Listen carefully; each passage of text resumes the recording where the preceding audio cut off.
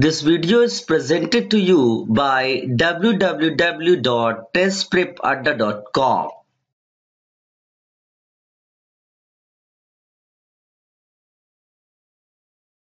Dear students, from the previous session of heat and thermodynamics, I started the discussion of heat and temperature.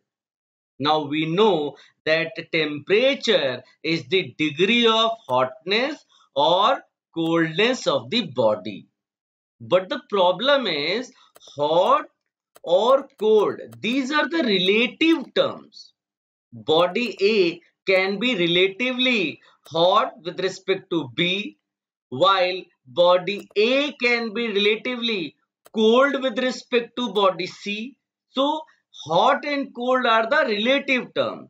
We can experience hotness or coldness, but the problem is how to measure this. How to measure this. And for that, it is important to give some numerical value to this temperature. And for this, there should be a measurable property of substance which should change monotonically with temperature. Here if I write property, that property should vary with temperature monotonically like this. And the commonly used property is volume of liquid. Dear students, you must be aware of thermometer you must be aware of a liquid in glass type thermometer. Different liquids which can be used for this purpose are like mercury, like alcohol. For example, if I talk about a mercury thermometer, here mercury liquid is taken in a glass bulb terminating in a long capillary this is the bulb in which we take mercury liquid and and this is the long capillary. And this is the this is the glass. And it is closed here. So this is the mercury this is the bulb this is the mercury liquid. Here as temperature increases this mercury liquid mercury expands and the length of the mercury column changes with the temperature. And each column represents a particular temperature of mercury. And to assign the numerical value to each length two fixed reference points are taken. Two fixed points, reference points are taken. Number one we call as ice point and number two we call as steam point. Ice point is the temperature at which water freezes or I say ice melts. So it is actually freezing point, freezing point of water. And steam point is boiling point of water, boiling point of water, the temperature at which water boils. Dear students, there are two famous scales one centigrade or Celsius scale, second Fahrenheit scale. As I told you, uh, for a scale we require two reference points, ice point and steam point. For this centigrade or Celsius scale, the ice point is taken as the ice point is taken as 0 degree Celsius and the steam point is taken as the steam point is taken as 100 degrees Celsius and the length of the mercury column between these two points is divided equally in 100 parts. If I show you this was the bulb in which mercury was filled a long capillary this is the glass support. And if I say this as the ice point and this as the steam point this length this length was divided into how many parts? 100 parts. And this point this ice point we have taken as 0 degree celsius and this we have taken as 100 degrees Celsius and length is divided into 100 parts. So each part, each part represents what? 1 degree Celsius. Now consider this Fahrenheit scale.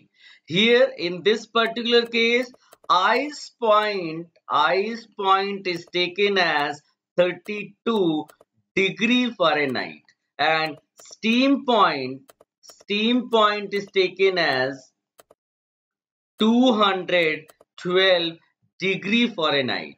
And here the length of the mercury column is divided into 180 parts. 180 parts. Here I will write 32 degree Fahrenheit. This is ice point and 212 degree Fahrenheit. This is steam point and this length is divided into 180 equal parts.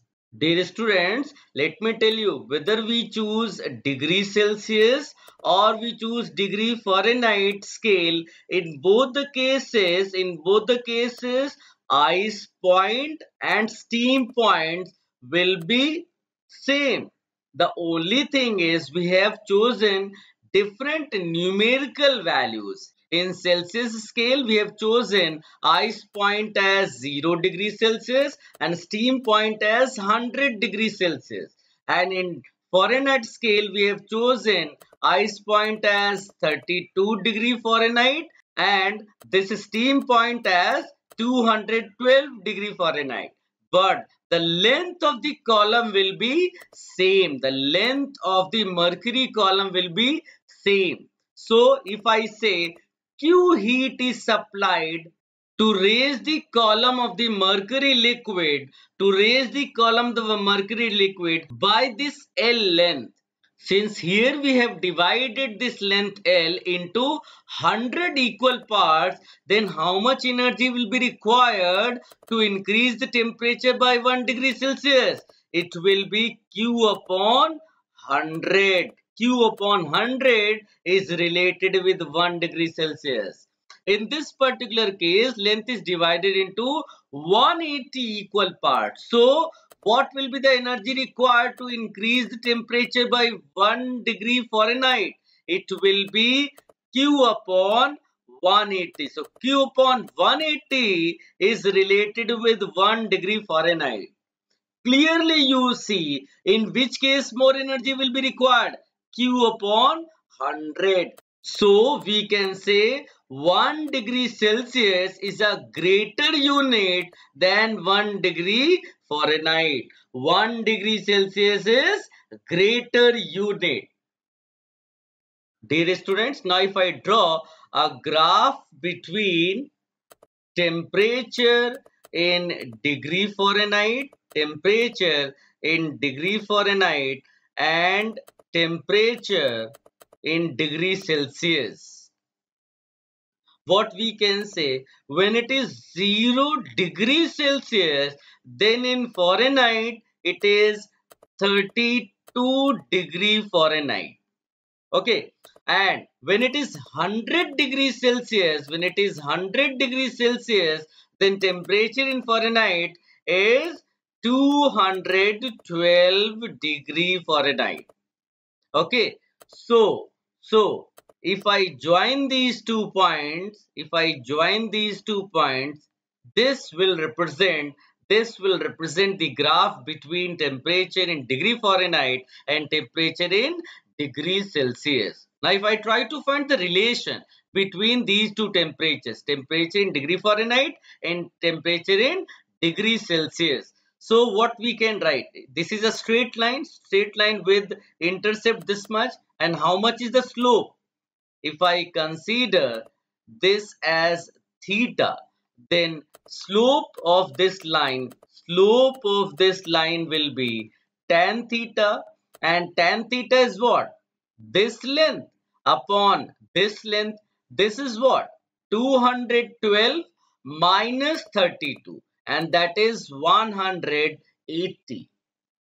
And, and, and what is this length? This is 100. So, tan theta that is slope will be 180 upon 100. That is 9 by 5. And since this is a straight line, I can write y is equal to mx plus c, where y I will write as temperature in degree Fahrenheit is equal to slope, m is slope. I will write 9 by 5. x is what? Temperature in degree Celsius. Temperature in degree Celsius plus. Here c represents intercept with y-axis. Means 32 so I will write 32. So this is the relation between degree Fahrenheit and degree Celsius temperature. Now this relation can be used for the interconversion of temperature from degree Fahrenheit to degree Celsius or from degree Celsius to degree Fahrenheit. My point is clear? Now I will take a question here. Here the question says the average temperature of normal human body is 98 degree Fahrenheit. Calculate human body temperature in degrees Celsius. Temperature in degree Fahrenheit is equal to 32 plus 9 by 5 temperature in degrees Celsius. If I substitute value here, this is given 98 is equal to 32 plus 9 by 5 temperature in degree Celsius and here I will get temperature in degree Celsius as 98 minus 32 into 5 by 9 and if you solve the value comes as 36.67 degrees Celsius approximately 37 degrees Celsius. So the temperature of human body in a degree Celsius is approximately 37 degrees Celsius. Dear students, let me tell you about one more scale, Reaumur's scale. Here the two reference points uh, that are ice point and steam point. These two points are taken as 0 degree Reaumur and 80 degree Reaumur and the relation between temperature in degree Reaumur with temperature in degree Celsius is temperature in degree Reaumur is equal to temperature in degree Celsius into 4 by 5. This way we convert degree Celsius into degree Reaumur or degree Reaumur into degree Celsius. Dear students, in this session I talked about temperature measurement. I talked about liquid in glass type of thermometer. In the next video session also I will continue the discussion of temperature measurement. In that session I will talk about ideal gas equation and absolute temperature. I will talk about constant pressure thermometer and constant volume thermometer. Thank you. This video is presented to you by www.testprepadda.com. TestPrepAdda.com provides free audio-visual lectures of different subjects by expert faculties free online tests prepared by expert faculties to students who are preparing for engineering or medical entrance exams or planning to take exams like KVPY, Olympiad, etc. It provides a platform where students can interact with mentors to improve their performance in the exams. The mission of this online medium is to help students to achieve their goals. Log on to www.testprepadda.com to watch free video lectures on different topics, to download free revision notes, to take free chapter-wise online tests, progressive test and mock test, to discuss doubts with mentors. Thank you for watching the video. To stay up to date with the latest videos, subscribe to our YouTube channel. Like us on our Facebook page, Test Prep Adda. All the best.